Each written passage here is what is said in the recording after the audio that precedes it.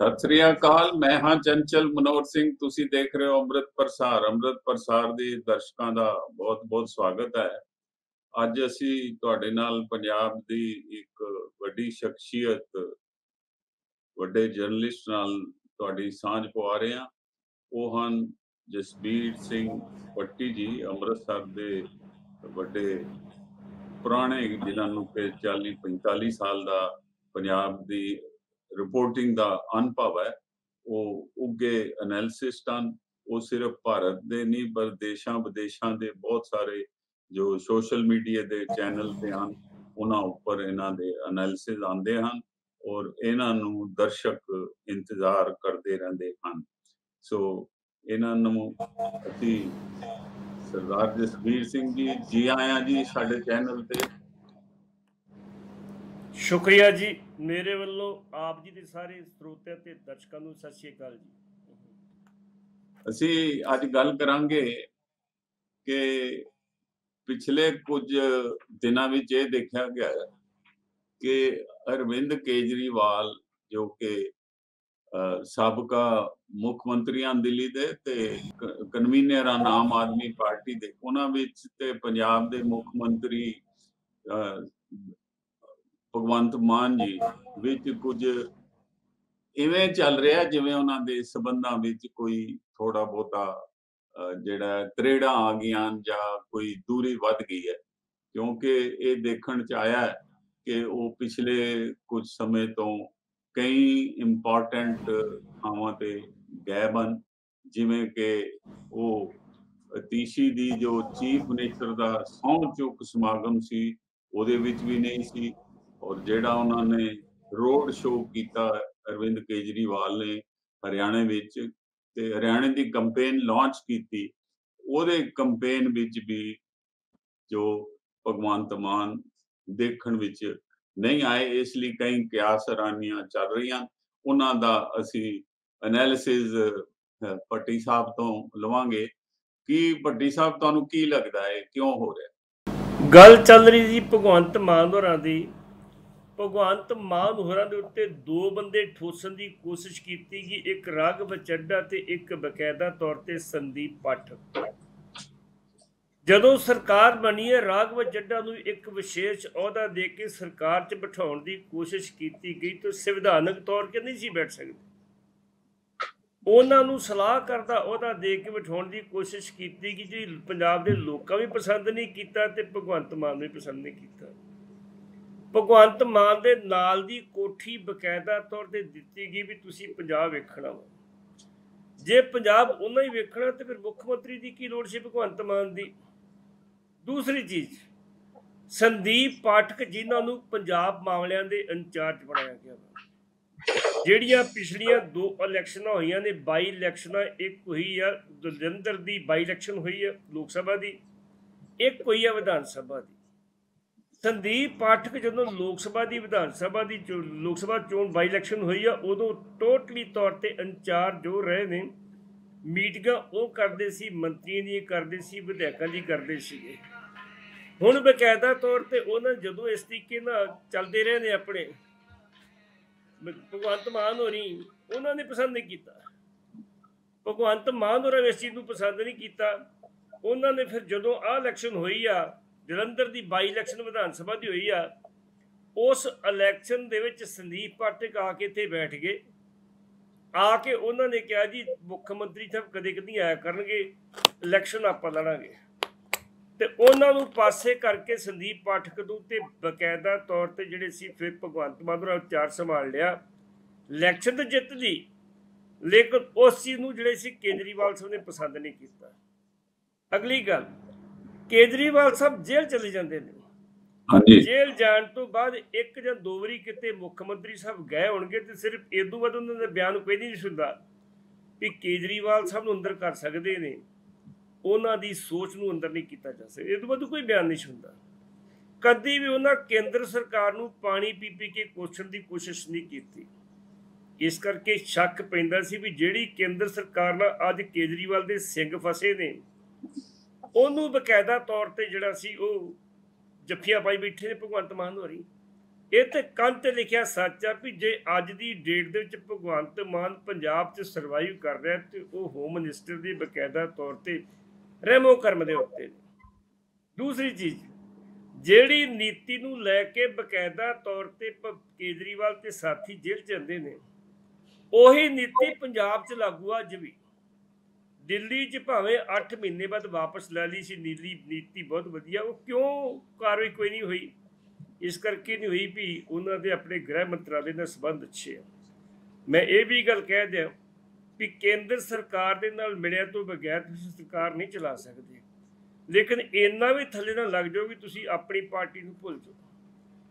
ਹੁਣ ਜਦੋਂ ਕੇਜਰੀਵਾਲ ਸਾਹਿਬ ਬਾਹਰ ਆਏ ਨੇ 15 ਤਰੀਕ ਨੂੰ ਮੀਟਿੰਗ ਹੁੰਦੀ ਹੈ ਇੱਕ। ਉਸ ਮੀਟਿੰਗ 'ਚ ਮੁੱਖ ਮੰਤਰੀ ਸਾਹਿਬ ਬੈਠੇ ਹੋਰਨਾਂ ਬੰਦਿਆਂ ਨੂੰ ਬੋਲਣ ਦਾ ਮੌਕਾ ਦਿੱਤਾ ਜਾਂਦਾ। ਲੇਕਿਨ ਪੰਜਾਬ ਦੇ ਮੁੱਖ ਮੰਤਰੀ ਦਾ ਕੇਜਰੀਵਾਲ ਨੇ ਇੱਕ ਵਾਰੀ ਨਾਂ ਤੱਕ ਨਹੀਂ ਲਿਆ। ਉਹਨਾਂ ਨੂੰ ਬੋਲਣ ਦਾ ਮੌਕਾ ਦਿੱਤਾ। ਉਦੋਂ ਹੀ ਪਤਾ ਲੱਗਿਆ ਸੀ ਵੀ ਇਹਦੇ ਵਿੱਚ ਕੋਈ ਗੜਬੜ ਆ। ਸ਼ਾਇਦ ਤੁਹਾਨੂੰ ਪਤਾ ਹੋਏਗਾ ਚ- ਚੰਚਲ ਮਨੋਹਰ ਸਿੰਘ ਜੀ। ਹਾਂਜੀ। ਇੱਕ ਵਾਰੀ ਜਦੋਂ 10 ਮਈ ਨੂੰ ਬੇਲ ਮਿਲਦੀ ਇੰਟਰਮ ਬੇਲ ਮਿਲਦੀ ਆ ਕੇਜਰੀਵਾਲ ਸਾਹਿਬ ਨੂੰ ਤੇ ਜਿੱਦਣ ਨਾ ਪਹਿਲੀ ਮਈ, ਪਹਿਲੀ ਜੂਨ ਨੂੰ ਜੇਲ੍ਹ ਜਾਣਾ ਸੀਗਾ, ਉਦੋਂ ਪਹਿਲਾਂ 28 ਐਮਐਲਏ ਲੈ ਕੇ ਜਿਹੜੇ ਸਪੀਕਰ ਸਾਡੇ ਕੁਲਤਾਰ ਸਿੰਘ ਸੰਧਵਾ ਵਾ ਉਹ ਬਕਾਇਦਾ ਤੌਰ ਤੇ ਕੇਜਰੀਵਾਲ ਸਾਹਿਬ ਨੂੰ ਮਿਲਦੇ ਆ।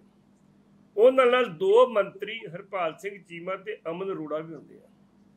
ਜਾ ਕੇ ਉਹਨੂੰ ਪੰਜਾਬ ਦੀ ਸਿਚੁਏਸ਼ਨ ਦੱਸਦੇ ਵੀ ਪੰਜਾਬ 'ਚ ਹਾਲਾਤ ਕੀ ਐ ਇਸ ਵੇਲੇ ਲਾਅ ਐਂਡ ਆਰਡਰ ਦੇ ਇੱਥੇ ਹਾਲਾਤ ਕੀ ਆ, ਲੋਕ ਕੀ ਚਾਹੁੰਦੇ ਆ ਉਹ ਜਿਹੜੀ ਮੀਟਿੰਗ ਸੀ, ਬੜੀ ਕ੍ਰੂਸ਼ਲ ਮੀਟਿੰਗ ਸੀ।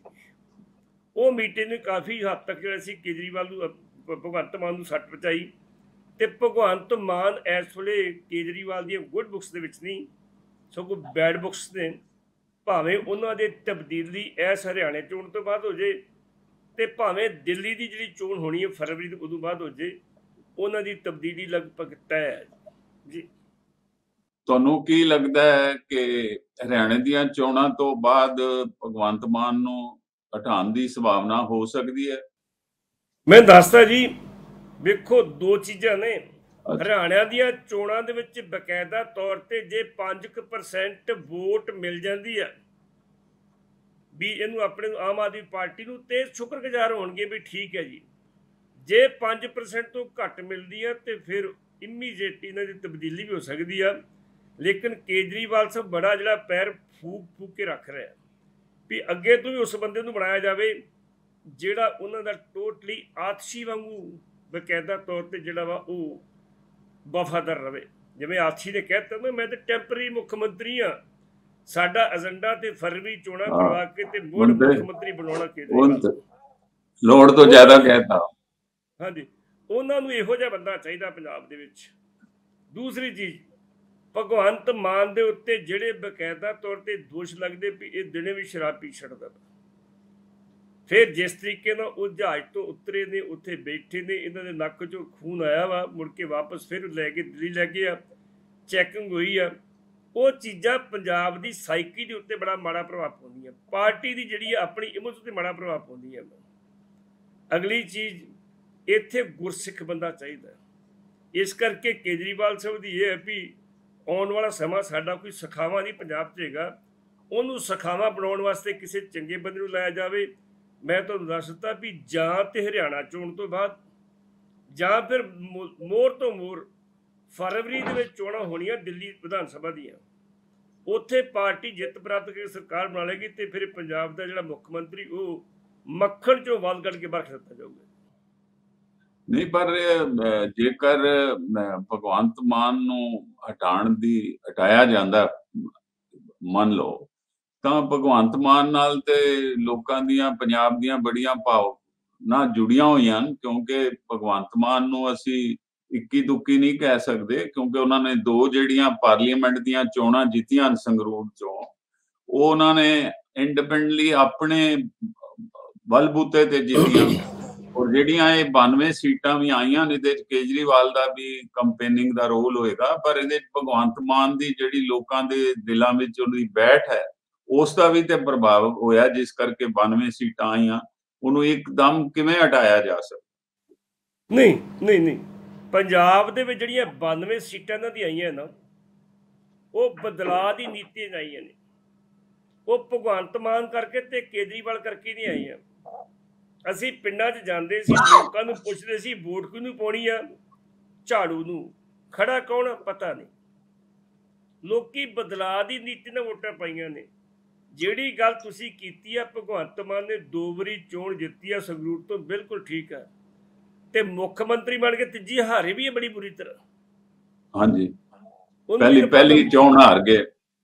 ਹਾਂ ਤਿੰਨ ਮਹੀਨੇ ਬਾਅਦ ਪਤਾ ਲੱਗਾ ਸੀ ਵੀ ਆਮ ਆਦਮੀ ਪਾਰਟੀ ਕਿੱਥੇ ਖੜੀ ਹੈ। ਕੈਂਡੀਡੇਟ ਵੀ ਉਹਨਾਂ ਦਾ ਚੁਣਿਆ ਹੋਇਆ ਸੀ, ਆਪਣਾ ਕੈਂਡੀਡੇਟ ਬਿਲਕੁਲ ਕੈਂਡੀਡੇਟ ਨੇ ਚੁਣਿਆ ਹੋਇਆ ਸੀ। ਇਸ ਕਰਕੇ ਉਹ ਚੋਣ ਹਾਰ ਗਏ।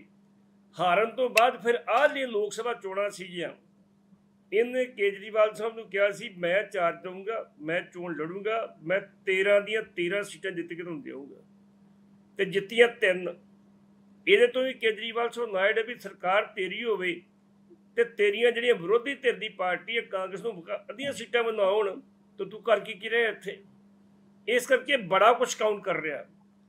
ਜਿਹੜੀ ਪੰਜਾਬ ਦੀ ਲਾਇਡ ਔਰ ਆਰਡਰ ਦੀ ਸਿਚੁਏਸ਼ਨ ਬਣੀ ਨਾ ਇਸ ਵੇਲੇ, ਉਹਦੇ ਤੋਂ ਸਾਰਾ ਪੰਜਾਬ ਦੁਖੀ ਹੈ। ਕਿਸੇ ਨੂੰ ਪੰਜਾਬ ਭ- ਭਗਵੰਤ ਮਾਨ ਨਾਲ ਹਮਦਰਦੀ ਨਹੀਂ ਹੋਏਗੀ। ਤੁਸੀਂ ਵੇਖ ਲਓ ਬਿਸ਼ੱਕ ਤੁਸੀਂ ਲੋਕਾਂ ਨੂੰ ਜਿਸ ਤਰੀਕੇ ਨਾਲ ਥ੍ਰੈਟ ਆ ਰਹੀਆਂ ਨੇ, ਲੋਕਾਂ ਕੋ ਫਰੋਤੀਆਂ ਲਈਆਂ ਜਾ ਰਹੀਆਂ ਨੇ, ਲੋਕਾਂ ਕੋ ਜਾ ਕੇ ਉਹਨਾਂ ਦੇ ਬੂਹੇ ਅੱਗੇ ਗੋਲੀਆਂ ਮਾਰੀਆਂ ਜਾਈ ਜਾ ਰਹੀਆਂ ਨੇ ਵੀ ਅੱਜ ਅਸੀਂ ਆਏ ਆ ਗੋਲੀ ਚਲਾਈ ਤੇਰੇ ਬੂਹੇ ਤੇ ਕੱਲ ਨੂੰ ਤੇਰੀ ਹਿੱਕ ਚਲਾਵਾਂਗੇ ਇੰਨੇ ਪੈਸੇ 'ਤੇ।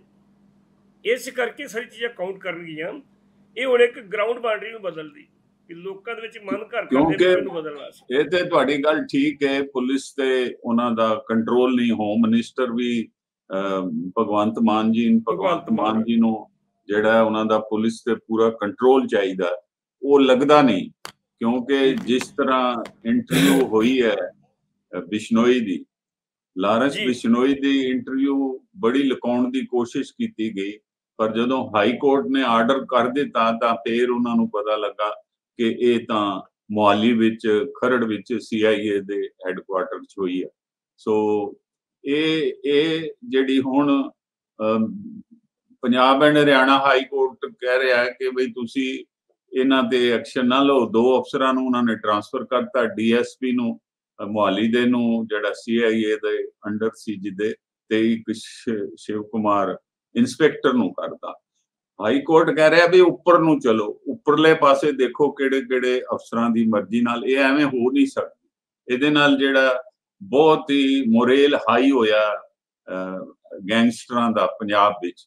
ਬਿਸ਼ਨੋਈ ਦੀ ਜੋ ਇੰਟਰਵਿਊ ਇੱਕ ਚੈਨਲ ਤੇ ਚੱਲੀ ਔਰ ਉਹਦੇ ਨਾਲ ਜਿਹੜੀ ਉਹਨੂੰ ਹੀਰੋ ਬਣਾਇਆ ਗਿਆ ਵਿਲਨ ਨਹੀਂ ਬਣਾਇਆ ਗਿਆ ਉਸ ਨੂੰ ਹੀਰੋ ਬਣਾਇਆ ਗਿਆ।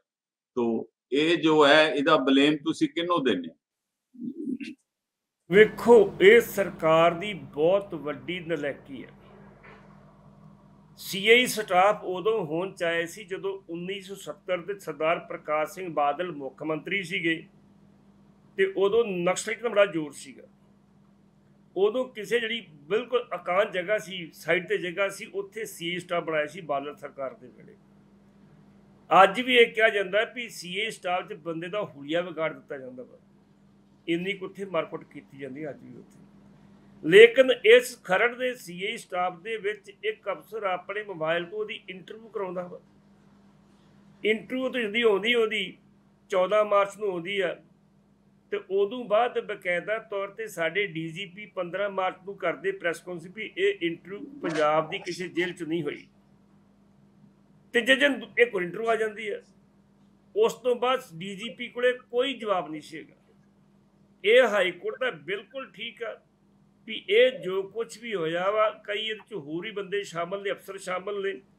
ਉਹਨਾਂ ਦੀ ਸ਼ਹਿ ਤੇ ਹੋਇਆ ਵਾ, ਉਹ ਸਰਕਾਰ ਨੂੰ ਬਦਨਾਮ ਕਰਨਾ ਚਾਹੁੰਦੇ ਆ, ਪੰਜਾਬ 'ਚ ਹਾਲਾਤ ਖਰਾਬ ਕਰਨਾ ਚਾਹੁੰਦੇ ਆ। ਤੁਸੀਂ ਰਹੇ ਹੋ ਇੱਥੇ ਅੰਮ੍ਰਿਤਸਰ ਦੇ ਵਿੱਚ, ਤੁਹਾਨੂੰ ਪਤਾ ਕਿੰਨਾ ਵੱਡਾ ਰੋਲ ਰਿਹਾ ਪੁਲਿਸ ਦਾ ਉਦੋਂ ਹਾਲਾਤਾਂ ਦੇ ਵਿੱਚ ਵੀ। ਇਸ ਕਰਕੇ ਇਹਦੀ ਪੂਰੀ ਜਾਂਚ ਥੋਰਲੀ ਹੋਣੀ ਚਾਹੀਦੀ ਹੈ। ਲੇਕਿਨ ਭਗਵੰਤ ਮਾਨ ਚ ਇੰਨੀ ਸਮਰੱਥਾ ਨਹੀਂ ਰੱਖਦੇ ਵੀ ਕਿਸੇ ਨੇ ਪੰਗਾ ਲੈ ਦੇਣ। ਅੱਜ ਤੱਕ 8 ਫੈਸਲੇ ਲਏ ਇਹਨਾਂ ਨੇ। 8 ਦੇ 8 ਹੀ ਵਾਪਸ ਲੈਣੇ ਪਏ ਇਹਨਾਂ ਨੂੰ। ਪੁਲਿਸ ਦੇ ਤੇ ਸਰਕਾਰੀ ਅਫਸਰਾਂ ਦੇ ਦਬਾਅ ਥੱਲੇ। ਤੇ ਜਿਹੜੀ ਸਰਕਾਰ ਆਪਣੇ ਫੈਸਲੇ ਤੇ ਖੜਦੀ ਨਹੀਂ, ਉਹ ਕਿਸੇ ਦਾ ਕੀ ਸਵਾਰੂਗੀ? ਉਹ ਕਿਸੇ ਦੇ ਸੂਬੇ ਦਾ ਕੀ ਸਵਾਰੂਗੀ?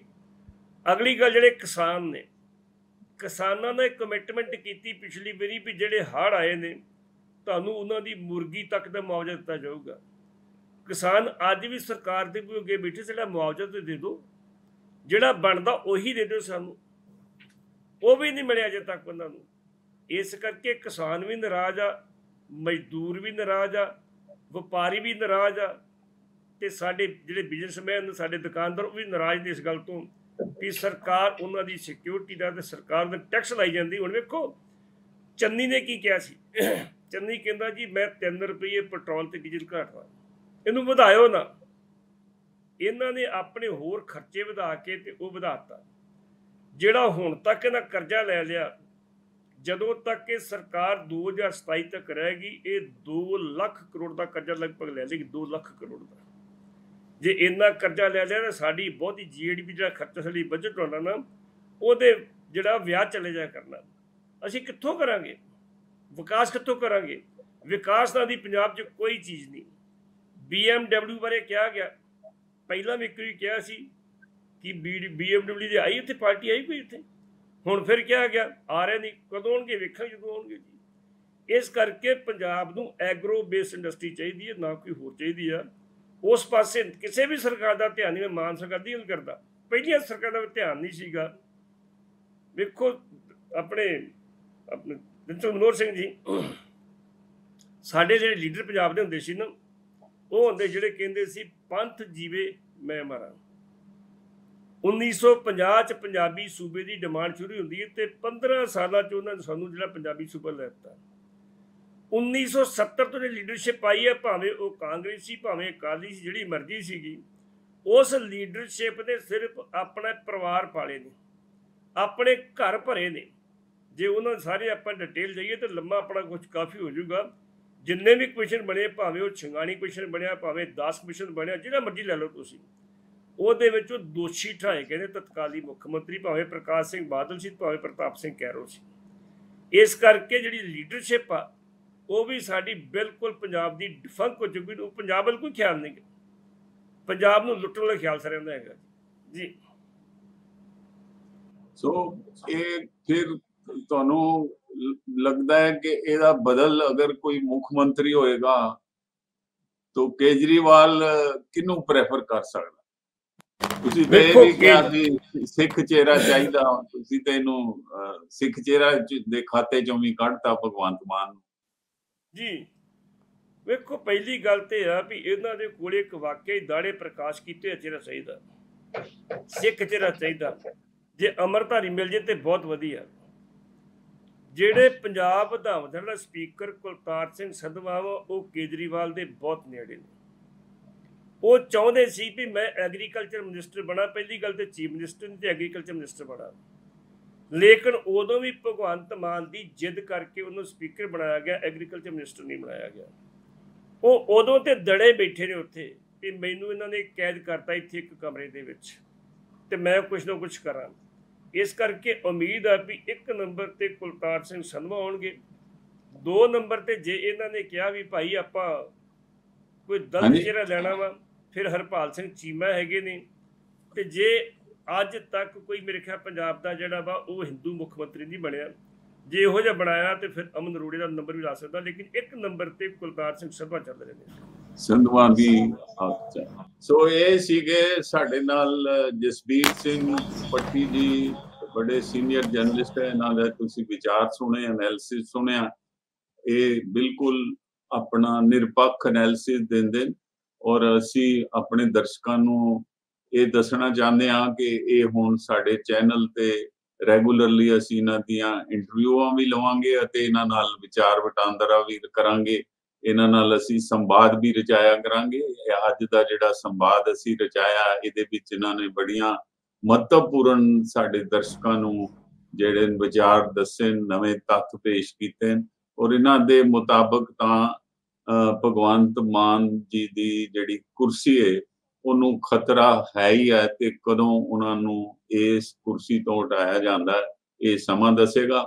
ਅਸੀਂ ਤੁਹਾਡੇ ਬਹੁਤ ਬਹੁਤ ਧੰਨਵਾਦੀ ਹਾਂ ਜੀ ਸਰਦਾਰ ਜਸਵੀਰ ਸਿੰਘ ਜੀ ਕਿ ਤੁਸੀਂ ਆਪਣਾ ਸਮਾਂ ਕੱਢ ਕੇ ਸਾਡੇ ਚੈਨਲ ਤੇ ਆਏ ਹੋ। ਉਮੀਦ ਕਰਦੇ ਹਾਂ ਕਿ ਤੁਸੀਂ ਹੁਣ ਸਾਡੇ ਰੈਗੂਲਰਲੀ ਜਿਹੜੇ ਆ ਇਸ ਸੰਵਾਦ ਪ੍ਰੋਗਰਾਮ ਵਿੱਚ ਸਾਡੇ ਨਾਲ ਸਾਂਝਾ ਪਾਉਂਗੇ ਧੰਨਵਾਦ। ਸ਼ੁਕਰੀਆ